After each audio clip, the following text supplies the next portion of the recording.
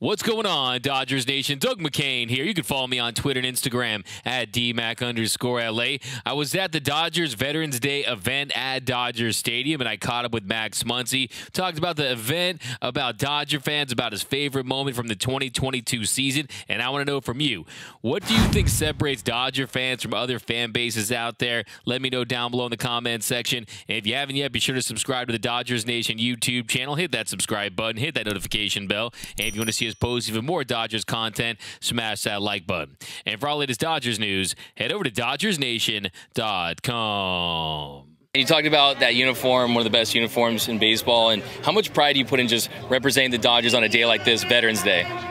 I think there's no better jersey, and uh, you know to be able to come out here and do this, uh, it, you know I think it's really cool. Uh, something over the years that I've grown to be very fond of is what JT does. Um, you know, we, we always bring the, the veteran down on the, the veteran of the game down on the field, and uh, every single time JT writes him a personalized ball. And uh, you know, I, I just think there's so many special things that, that you can do as simple as that. Um, yeah, I think it's it, it, means a lot to be a part of an organization that prides itself in, in doing stuff like that. Yeah, and you talked about the fans. The Dodger fan base is next level. What is it about Dodger fans that make them so special and separates them from other fan bases around the league? I, you know, I think it's just because we're we're one big family. You know, this is one of the largest fan bases in the world, not just for not just for baseball, not just for uh, United States. I think in the world, uh, you know, this fan base is, is huge. It's it's uh, you know they're they're awesome. I think they're the best fans in the game, and uh, you know I, I I, I, love them. I love being able to come out here and play in front of them. And so to do anything to give back to some of the fans, it's it's, it's, a no-brainer to me. And uh, it, you know, this is this is a really cool day. Really cool day. And you mentioned uh, your favorite moment, the home run in 2018. What was your favorite moment from the 2022 season? Mine was when uh, you, you, had that home run against the White Sox, the La Russa moment. But what was your favorite moment, Max?